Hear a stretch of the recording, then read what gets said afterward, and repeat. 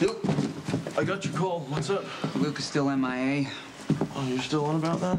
Like, you saw the text. Like, our Luke and Tracy are off working on I, tans. I traced the text to Southern Europe. okay, so no, you're thinking Greece and Helena? Helena hasn't been seen for a few days. You think she's off working on her tan as well? Did you talk to Nikolas? Yeah. Yeah, he completely stonewalled me as expected. Yeah, I guess you two aren't really in good terms right now. huh? Look, I'm I'm gonna head off to uh, Cassadine Island, take a look around. You wanna join me? I could use the backup. As fun as jetting off to the Aegean sounds right now, I think I'll have to take a pass. And I recommend you do the same. No interest in rescuing our dad. You know, I tried that, actually, not too long ago. And uh, Luke was appropriately grateful, but he said when it comes to he and Helena, he doesn't want a third party interfering.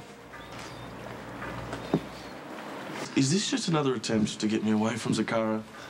If I wanted you out of town, I would just tell you straight out. Okay, so you're not working me, but maybe Luke is. You know, I know he's not too fond of his Ethan, this job. isn't about you, okay? My gut is telling me that something's really wrong here. Okay, okay, let's just say that Luke is off doing battle with the Dragon Lady.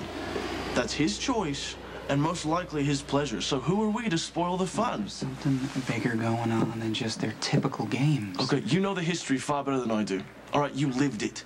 And from what I can tell, I don't know why you'd want to go anywhere near it. Look, you've been through a rough patch, okay? I get that. But you've come through in one piece. Why not just sit back now and enjoy that? Okay, besides, Luke is like a cat, you know? If he's in real trouble, he'll be fine. He'll just fall and twist himself around until he lands on his feet.